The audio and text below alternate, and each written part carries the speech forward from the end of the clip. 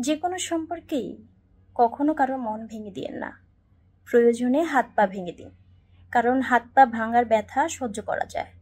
কিন্তু মন ভাঙার ব্যথা, সে যন্ত্রণা কখনো সহ্য করা যায় না। যদি ইতিমধ্যে আপনি কখনো কারও মন ভেঙে দিয়ে থাকেন বা কারোর মন ভেঙে দিয়ে থাকেন, দ্রুত তার বা তাদের কাছে ক্ষমা চেয়ে নিন। কারণ ভাঙা মনের একটা দীর্ঘশ্বাস আপনার ধ্বংসের কারণ হতে পারে। আর কেউ যদি আপনার মন ভেঙে দিয়ে থাকে, তাহলে তাকে ক্ষমা করে দিন। এই ভেবে যে সে আপনার একজন প্রিয় মানুষ ছিল, আপন মানুষ ছিল, আপনি চাইবেন যে সে ধ্বংস হয়ে যাক।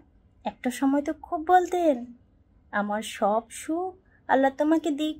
তবে এই যে এত জ্ঞান দিলাম আপনাদেরকে, আমি তো জীবনে ক্ষমা করব না। আপনারা দিতে পারেন। ক্ষমা মহত্বের গুণ